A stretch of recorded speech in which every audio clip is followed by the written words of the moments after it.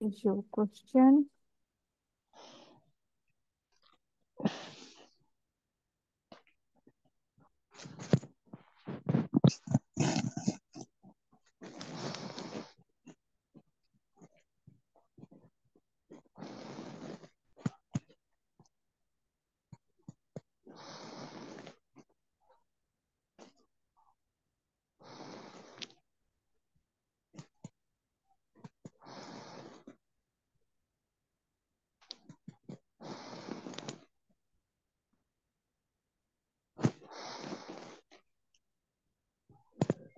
Okay.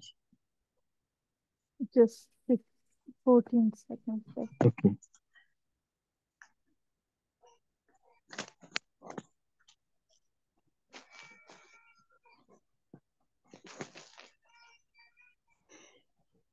Right. So if you have read and understood, considering it procedural skill station, kindly tell me uh, after you've seen the listing, theater listing, how would you order them? Uh, okay. Um, I will keep them uh, as they are arranged. The strangulated hernia Yes. is the first, and then uh, the diverticular abscess is uh, second, and the M MR and the methicillin-resistant Staph aureus patient is the third. All right. This third patient happens to be diabetic patient. Why would you place it number three?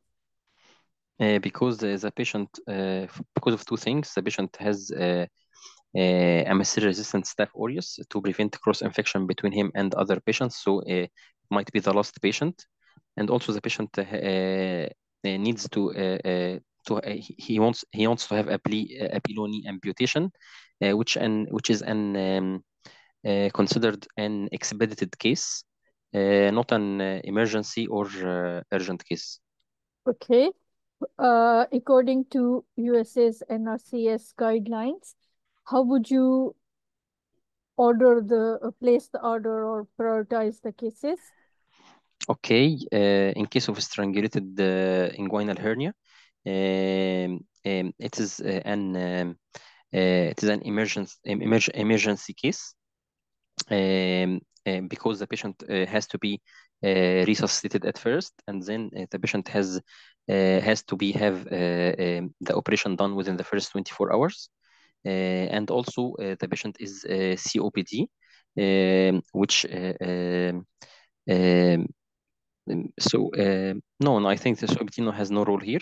And second, the patient, second patient has uh, a diverticular uh, abscess, uh, but the patient uh, is allergic to uh, iodine uh, and uh, penicillin.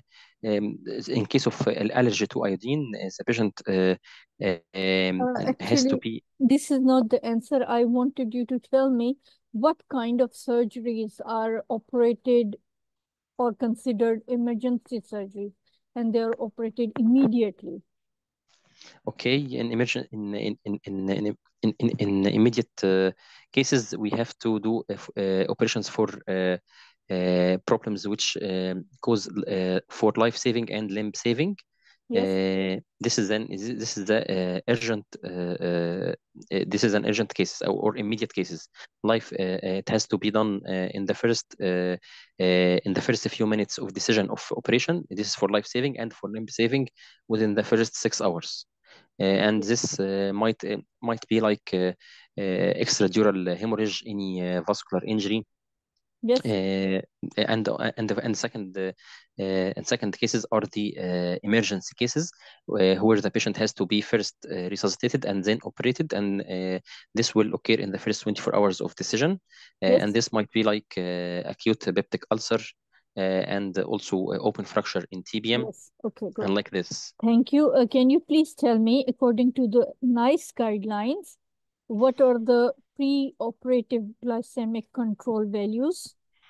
Okay, the patient uh, um, uh, has not to be uh, uh, admitted uh, through uh, through over uh, the uh, through over the night before the operation, Yes. and the patient has to uh, miss only one meal, uh, and the patient um, has to uh, has to be normoglycemic in the pre, intra, and post-operative uh, uh, setting, and the patient uh, uh, will has to be uh, random blood sugar, blood glucose level should be measured hourly, and Okay.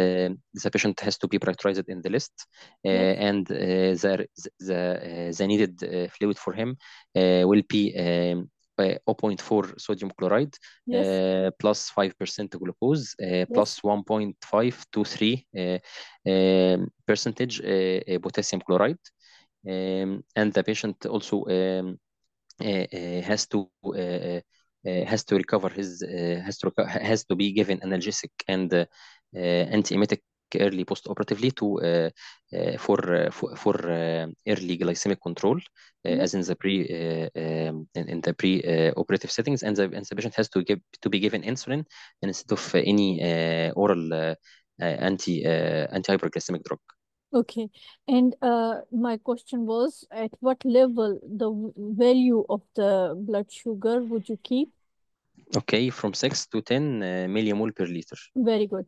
Okay, when it comes to children, how would you how would you place the children's if they need to be operated? Okay, if children has to be prioritized in the operating list uh, Yes. uh, to to decrease uh, the fear uh, uh, from the patient and from the children Yes, and they should be placed earlier. early, Uh, early okay, in the list. Yes. Uh, the first patient, strangulated hernia uh, uh, patient, is also COPD with pacemaker.